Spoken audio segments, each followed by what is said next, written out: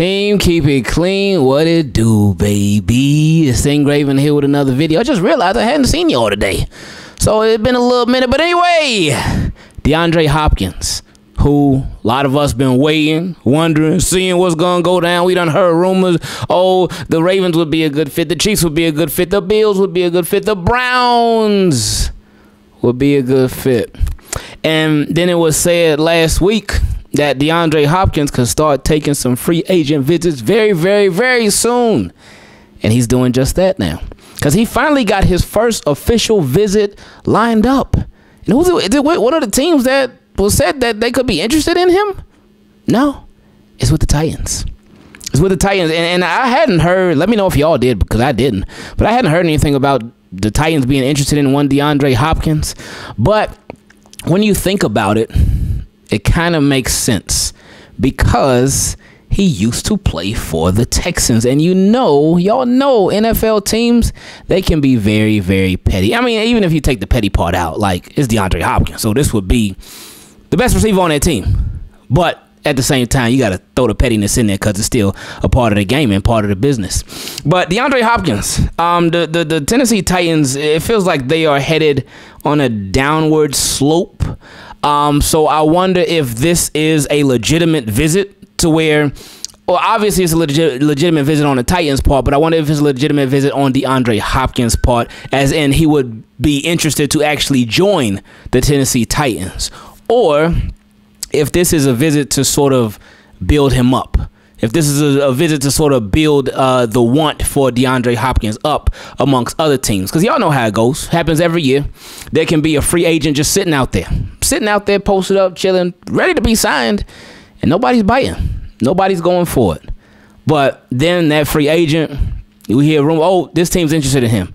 Oh, this team's making a visit with him. Then it's like, oh, then another team will be like, oh, you know what? No, no, oh, they they making a visit with him. Okay, no, we got to get one too.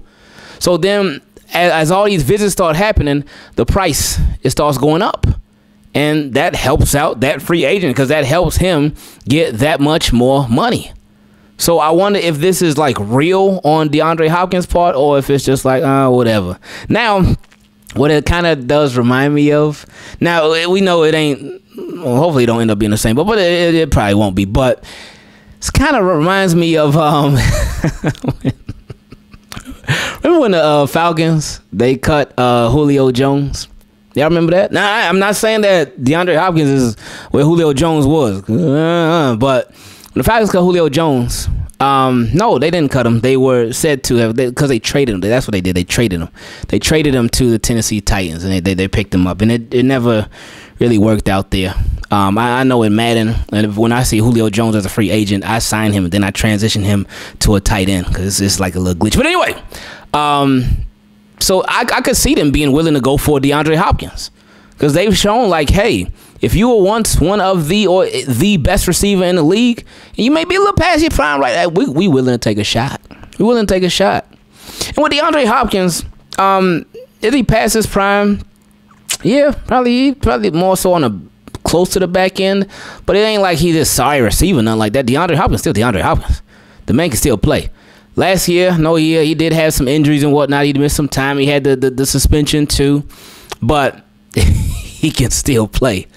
Now, th- there's been a lot of talk. I know, um, and this happens sometimes. You know, NFL is a funny business. Um, when DeAndre Hopkins got cut, I I had never heard this before, ever, ever throughout the entirety of his career. I never heard anything that eh, or any team questioning his character. I never heard anything like that before. He gets cut, becomes a free agent, then all of a sudden he comes out, oh, DeAndre Hopkins got character issues. Mm. I don't know. It just seemed a little. The, the timing of it seemed a little strange to me. But hey, maybe that's me. But another thing that's come out is that DeAndre Hopkins got separation issues. He, he can't separate like he once could. That was a report that came out the other week too. And I'm thinking like, hold up.